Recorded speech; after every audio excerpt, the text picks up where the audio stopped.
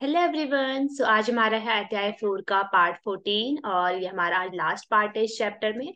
सो so, आज हम part में क्या पढ़ने वाले हैं? आज हम पढ़ने वाले हैं इसका समरी यानी सारांश देखेंगे कि इस चैप्टर में हमने क्या क्या पढ़ा है। और साथ ही हम ये देखेंगे कि इसको हम चैप्टर में हमने जो भी पढ़ा है उसको हम पॉइंट वाइज समझेंगे जो भी इसमें इंपॉर्टेंट पॉइंट्स है। और अगर आपको वो पॉइंट समझने में कोई भी कठिनाई आती है तो आप इस उस पॉइंट के आगे पे दी गई जो पार्ट है, जिस पार्ट में हमने वो चीज़ कवर करवाई है, आप उसको लेक्चर को दे सकते हैं। ठीक है? चलिए शुरू करते हैं। सबसे पहले हमने ये देखा था अरस्तु।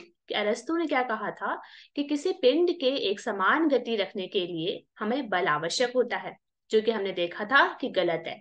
व्यवहार में विरोधी घर्षण बल को प्रभावहीन करने के लिए कोई बल आवश्यक होता है ना कि किसी गत, ना कि किसी पिंड को एक समान गति में बनाए रखने के लिए राइट यानी कि अगर कोई पिंड एक समान गति कर रहा है तो उसको उसको उसी गति में रखने के लिए कोई बल की आवश्यकता सामान्यता नहीं होती है। लेकिन क्योंकि वहाँ पे घर्षण बल भी उपस्थित होता है इसलिए हमें वहाँ पर एक बल की आवश्यकता होती है। ये हमने समझा था पार्ट वन में ठीक है? इसके बाद हमने देखा था कि गैलीलियो ने हमें बताया, गैलीलियो ने इसको प्रूफ करके बताया था कि ऐसा हमें कोई बल की ज़रूरत नहीं पड़ती है एक समान गति करने के लिए।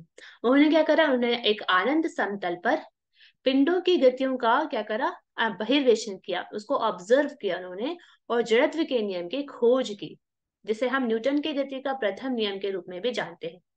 क्या होता है न्यूटन का गति का प्रथम नियम? ये हमने पार्ट वन में कवर किया था, जिसमें हम देखते हैं कि न्यूटन का गति का प्रथम नियम ये कहता है कि प्रत्येक पिंड तब तक अपने विरामावस्था या किसी सरल रेखा में एक समान गति की अवस्था में रहता है, जब तक कि उसमें कोई बाह्य बल उसे अन्यथा व्यवहार करने के लिए विवश नहीं करता। यानी कि अपनी गति में वो चलता रहेगा, जब तक कि हम उसे किसी बाह्य बल द्वारा उसे रोक नहीं लेते या फिर उसे स्टार्ट नहीं कर लेते। ये हमने कवर किया था पार्ट एक और पार्ट दो में। उसके बाद हमने जाना था गति के द्वितीय नियम के अंतर्गत कि किसी पिंड का संवेग क्या होता है? उसके द्रव्यमान और उसके वेग का गुणनफल होता है। संवेग को हम प्रदर्शित करते हैं पी द्वारा, और पी बराबर होता है एम वी जहाँ पर एम क्या है? एम उस पिंड का द्रव्यमान और वी उसका वेग होता है। इसको हमने देखा था पार्ट थ्री में।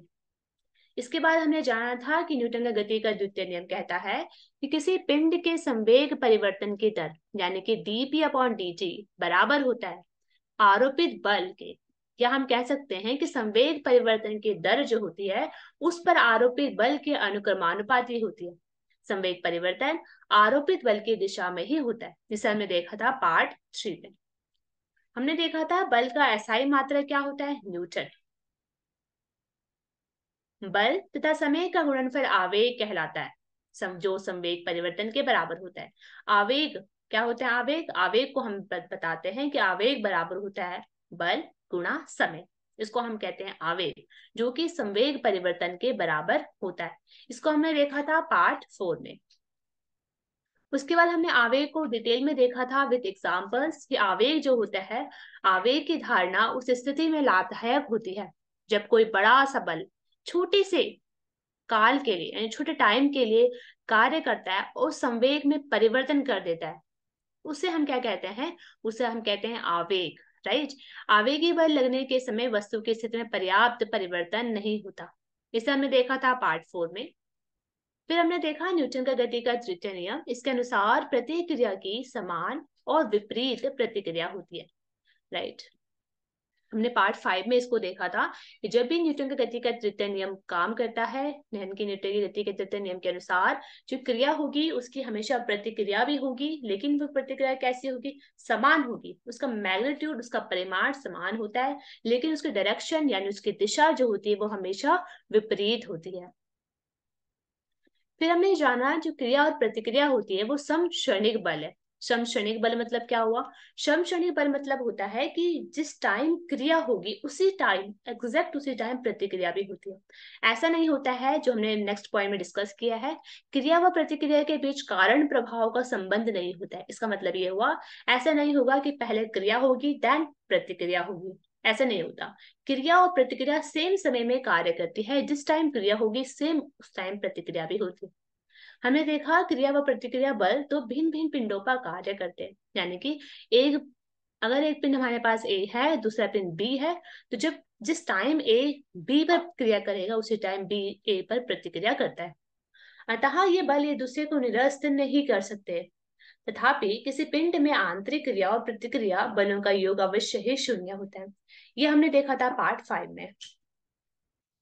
फिर हमने ये जाना था कि संवेग संरक्षण का नियम किसे कहते हैं? संवेग संरक्षण के नियम के अनुसार किसी भी वेग निकाय, एक सिस्टम का कुल संवेग संरक्षित रहता है। यह नियम गति के द्वितीय नियम से उत्पन्न हुआ है।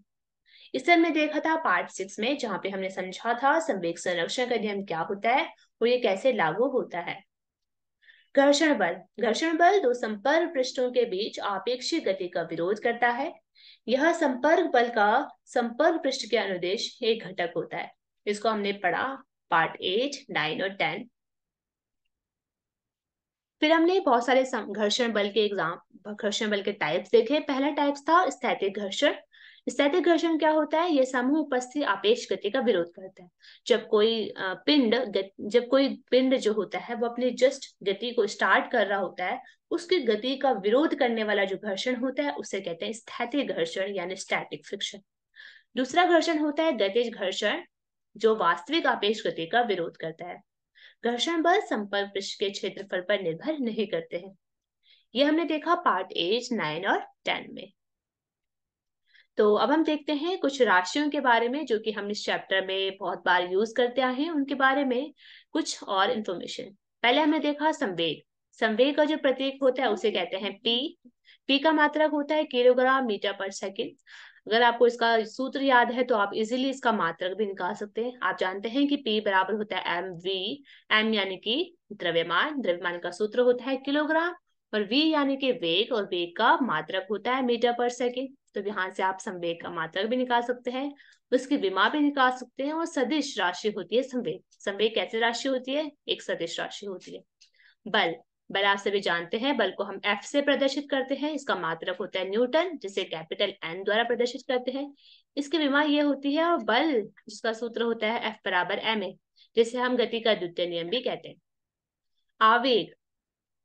आवेग का मात्रक होता है किलोग्राम मीटर पर सेकेंड, जो कि संवेग के बराबर ही होता है। आवेग का सूत्र होता है बल गुणा समय। जिसको हम संवेग परिवर्तन के नाम से भी जानते हैं। ये बहुत इंपॉर्टेंट है, ये हमने अच्छे से देखा था न्यूमेरिकल सॉल्व करते हुए भी।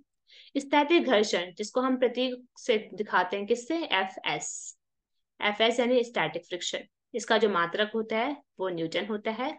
इसका जो सूत्र होता है, वो होता है F S mu S N गतिज घर्षण एफ़ के से प्रदर्शित करते हैं, इसका मात्रक ए न्यूटन होता है।